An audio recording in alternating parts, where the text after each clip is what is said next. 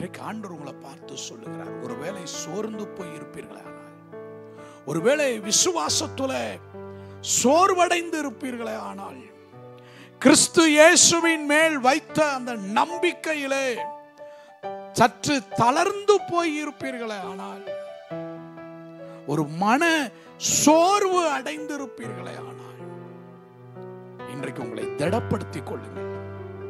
தேவன் தம்மில் அன்பு கூறுகிறவர்களுக்கு தமது கற்பனைகளை கை கொள்ளுகிறவர்களுக்கு.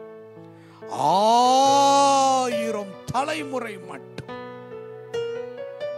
ஆண்டவர் உண்மை உள்ள தேவனாயிருக்கிறார் நீங்கள் ஆராதிக்கிற தேவன் உண்மை உள்ளவர். அவர் உங்களுக்கு மாத்திரமல்ல நீங்கள் காண முடியாத உங்கள் கண்களால் காண முடியாத உங்களுடைய சந்ததிக்கே ஆண்டவர் உண்மை உள்ள தேவனாயிருக்கிறார் ஆண்டுக்கு மகிமை உண்டாகட்டும்.